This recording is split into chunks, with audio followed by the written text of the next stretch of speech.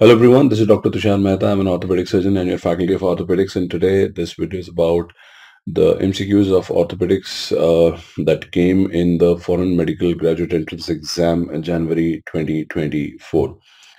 Uh, there was a question uh, allegedly according to the recall from the students. So there was a question related to this x-ray. Now in this x-ray, what you are looking at right now is number one, a fracture of the head of the radius.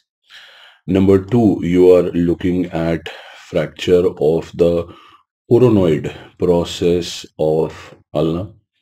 Uh, third thing that you are looking at is posterior elbow dislocation.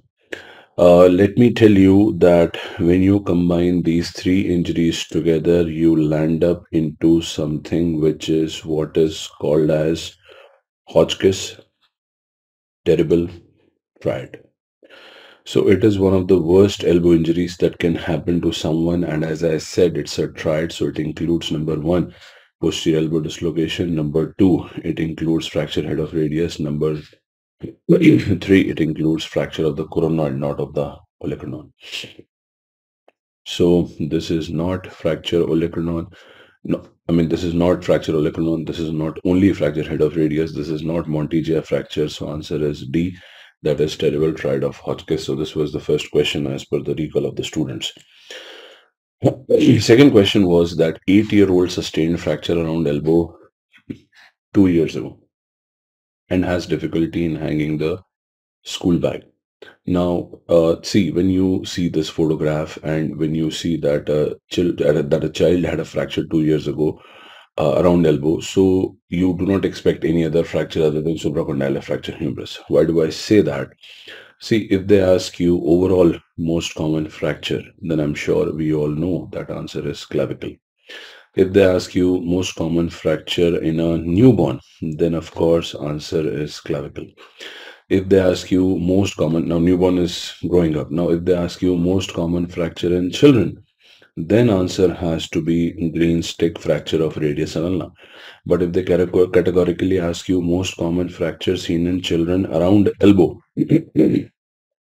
then answer has to be supracondylar fracture humerus. Now in this fracture, guys, the most common complication will always be malunion. And this malunion will always be cubitus varus. And cubitus varus is something that is what we know by the name of gun stock deformity, where the part distal to cubitus goes towards midline. The part distal to elbow goes towards midline. So this is elbow. The part distal to that is forearm. Forearm is going towards midline. So it is a clear-cut case of cubitus varus, which is developed due to supracondylar fracture humerus. So this was the correct answer.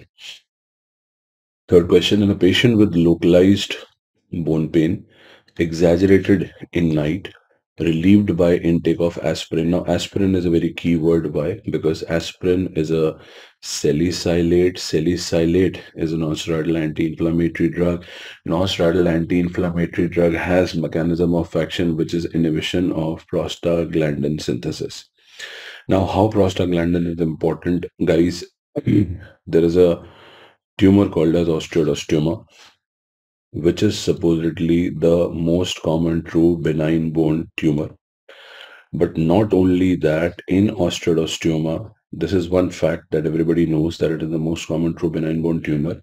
But what is more important in osteoid osteoma is for you to understand that there is a central radiolucent lesion.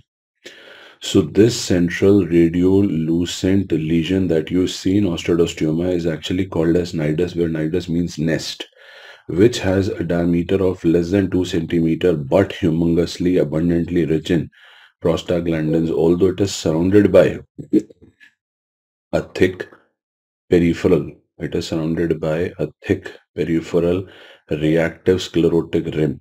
And by the way this thick peripheral reactive sclerotic rim is what is called as osteoma and this central nidus is what is called as osteoid. So basically what I want you people to understand that osteoid osteoma is called osteoid osteoma because osteoid is surrounded by osteoma. Now you can connect this that how prostaglandins are inhibited and how aspirin is giving you relief in the pain. So answer is osteoid osteoma. Young man, road traffic accident, external rotation. See, life is simple. If there is a young patient after RTA, if, if hip goes into flexion, adduction, internal rotation, it has to be posterior hip dislocation, no doubts about it. If it is flexion, abduction, external rotation, it has to be anterior hip dislocation and there is no doubt about it. so what you can see here is external rotation. So answer obviously has to be anterior hip dislocation. I'm not sure what was the question which was asked because I tried my level best recalling from students. But some people said that they had given a photograph where they had marked a tendon and they had asked which tendon is this. So always remember that when you do this, this tendon, what you're looking at right now is palmaris longus and this tendon which is there on the lateral side is flexor carpi radialis. One set of students is saying that this was the clinical photograph. Another set of students is saying that they had shown a photograph of anatomical snuff box. So in anatomical snuff box, it is a diamond-shaped structure. The anterior boundary is lined by two tendons which have a common tenosynovial sheath which are APL and EPB. I may show you the APL and EPB. So this is the diamond shaped structure. Here you have APL and APL and EPB which have a common tenosynovial sheath, the inflammation of which is called as, by the way, the inflammation of which is called as de Quervain's disease. Okay, just an added inf information. De Quervain's tenosynovitis. The posterior boundary is made by a tendon. What is that called as? EPL. So I've shown you this posterior tendon is basically EPL. So whether it was asked or it was asked, I wanted to give you the explanation which is here in front of you.